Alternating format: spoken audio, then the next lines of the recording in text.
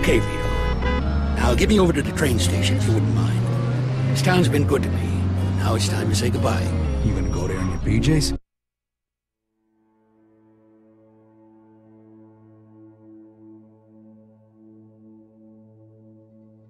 Damn right I am. I'd rather be alive in my pajamas than dead in a three-piece suit.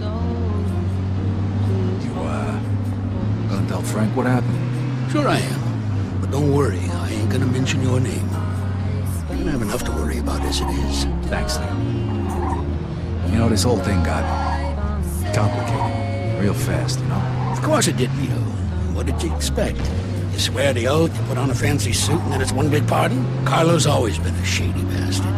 Even for guys in this business.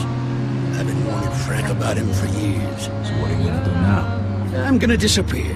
Let things run their course.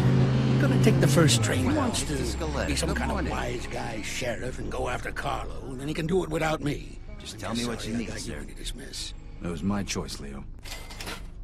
All you did was speed things up a little. Besides, what the hell else was I gonna do? Thanks a lot, pal. Work I on the docks appreciate like the my old man? business. You're preaching to the choir, kid. For a retailer, you won't find anyone.